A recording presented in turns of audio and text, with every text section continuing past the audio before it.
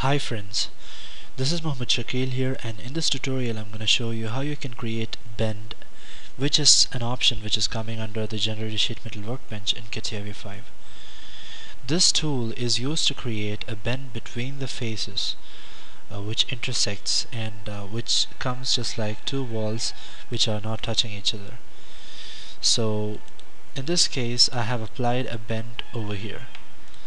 So let me just delete the bend here. So you can see that uh, a particular gap is there in between the two faces. So when you want to apply the bend go to insert bending and select the bend and select the two supports in between which you want to fill it with a you know kind of a fillet.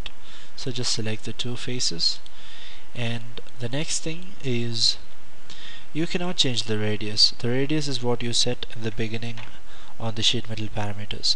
So bending can be only applied between the two faces which actually follows this uh, radius option. If it's too away from uh, you know if two supports are too much away from each other then the uh, bend option is not going to work. So this is the one rule which you have to follow while you're applying the bend. Just click on OK and you can see that the bend is applied here so that's all. And if you have any doubts on this particular uh, you know in this particular option or in this tutorial please comment below the video and I'll be getting in touch with you. If you have any CAD projects you can write to me at katia.pro.user at gmail.com and you can also follow me on the blog that is www.cadmadeeasy.blogspot.in and that's all for this particular part. Keep watching and stay tuned